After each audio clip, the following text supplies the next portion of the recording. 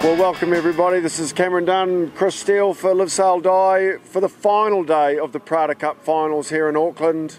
Chris, an absolutely dominant performance by Luna Rossa Prada Pirelli today, wrapping up the series 7 1.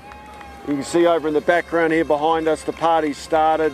They're off to the America's Cup. Well and truly started, hasn't it? I mean, it's all happening down here in the viaduct. Luna Rossa Prada Pirelli, you know, putting on a dominant performance today, like you said, Cam they needed to, to execute and execute well. And you know, the first race, you got to hand it. The Brits sort of won the start, but a little bit of a compromised position because they weren't really able to control the first part. And uh, the Italians hung tight, sort of on their windward hip, and took them all the way to the boundary, and then simultaneously tacked. And from there, we saw, you know, just how high that Italian boat is sailing upwind, and those conditions are just really, really impressive performance. Yeah, it was. It was amazing today. I thought the the performance of the Luna Rossa boat upwind was came to the fore today. It hasn't been that dominant all the event. We know it's fast, but today, man, poor old uh, Ben Ainslie with Ineos Team UK, they didn't really stand a chance. Off that first start line, they would have felt really strong. I think most of us were expecting Luna Rossa to have to peel off halfway out to the lay line there, but they hung and hung and hung. And then after that tack, as soon as they completed the tack, it was like, oof, yeah. it's going to be tough. And you know, we should touch on obviously Jimmy and Checco talked after the race about the the equipment, you know, decisions that were made. Sort of sounds like Pietro Sibello had a pretty um, pretty critical input to some something to do with the mainsail. I'm not entirely sure what it was, but uh, whether they had you know potentially the, the chance to change mainsails at the last minute, and, and they did. I'm not sure, but. Um, they, they gave a lot of credit to that, and then also they mentioned the jib selection in race one. They went with a bigger jib, and so you know, I think to my knowledge that's probably Pierluigi De Felice's call to, to decide which jib he's going to be trimming, and, and they went for a bigger jib than the Brits, and that certainly looked to be the difference in the first race anyway. But you know, the second race, uh, a really interesting pre-start. I think the Brits did everything they needed to do. They were aggressive. Um, they put themselves in a, in a, spot where, you know, it was it was a lot of time to kill, uh, a bit of a tight spot, but at least the, the control was in their own hands. They took the initiative off the Italians, led back, um, and then, you know, they, they executed really nicely. And there was a bit of a dicey moment down there at the pinning of the line where the Brits were trying to scrub time off. They went for a really aggressive, you know, tack onto port to try and cross in front. Looked like the Italians almost had a piece. And uh, in doing so, they ducked behind and then ended up over the start line. So the Brits got control of their race early, which is what they needed. But unfortunately, the boats being out of phase, it was hard for the Brits to, you know, get get themselves in front of the, the Italians and make life harder for them for there yeah, I think you know, as we say here in New Zealand, full credit to to Ben Ainslie and the Ineos team today. They did what they needed to do. They they got aggressive in the start. You know, you know, as you say, yeah, they got a nice start. I think with even boats for sure, they would have they would have dominated that first part of that first race off that tight to leeward start. But unfortunately, you know, we've and we've picked that up pretty clearly from Ben in the press conferences in the last few days is they're not sailing an even boat. Um, and you know, in that last race, yeah, they won the start. They got the first cross. First time in about 12 races we've seen the first cross not complete to win the race. You know, Luna Rossa just a superior speed and flawless execution around the course. You know, one shaky tack, but other than that, man, they sailed a fantastic regatta, and now they'll be they'll have a good party tonight but I'm sure from uh, maybe a day off tomorrow with a few sore heads. But after that, they'll be fully focused on uh, our, our friends over here in Emirates Team New Zealand. Yeah, it's a fine line, isn't it? Because obviously you enjoy this. It's a massive accomplishment to come out of the Challenger Series as the top, you know, contender to win the Prada Cup, earn the right to challenge Emirates Team New Zealand to, to race for the America's Cup.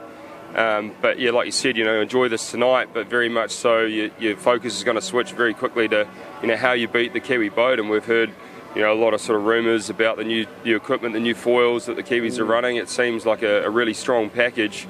Uh, what we have seen with the Italians is the boat performs very, very well in the lighter airs, and you know they might be competitive with the Kiwis in that sort of wind range. Uh, but and, and, and saying that as well, you know they've, they've done a lot of work in the last couple of weeks to improve the performance of the boat in the moderate to sort of heavy airs. And I think you know if we looked at Ineos Team UK was one of the benchmark teams in those sort of conditions. Yeah. The Italians have found a way to close the gap and be competitive in those conditions. So it'll be really interesting to see where they line up.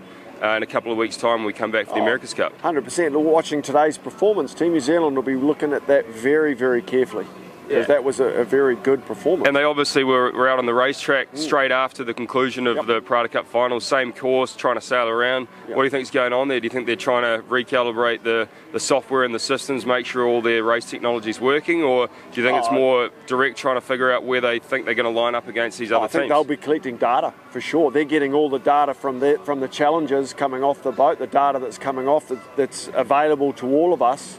They can go around and, and put that into their system and try and figure out how the performance going on the boat, and that's probably one of the advantages they have. You know, it's a big disadvantage not being in this racing and, and getting tuned up like that, but they'll be. Uh, yeah, they'll, they'll be getting as much out of it as they can. It's a smart move. You know, I'd just like to touch a little bit on Ineos Team UK. Obviously, sad to see them go. Um, but in the end of the day, I think there's got to be some pretty big questions asked in that campaign, you know, to, to show up to a, to the finals of the Prada Cup and really not have the package to even really compete against your opponent. It's an incredibly disappointing situation to have them in. Um, and so they'll be, you know, I know it'll be gutting for them now, but there's going to be some really deep and dark conversations going on within that organisation moving forward. Let's hope we see them again. I've got a good feeling that they'll be back but I think you'll see some pretty good changes there as well because they can't make that mistake again. Yeah, I mean, you touched on it. I think obviously a little bit, uh, a lot of disappointment today, and, and obviously throughout the the Prada Cup final series. But I think you got to give a lot of credit to the team as well for you know a, a month or so ago we were talking about this team as you know there were people that were riding them off. You know they they were struggling to get on the foils and under 10 knots and and you know they didn't win a single race in the in the World Series, and then to go through the, the round robin undefeated was a massive turnaround. So, you know, clearly a lot of fighters in that team. There's there's a lot of good stuff in there as well.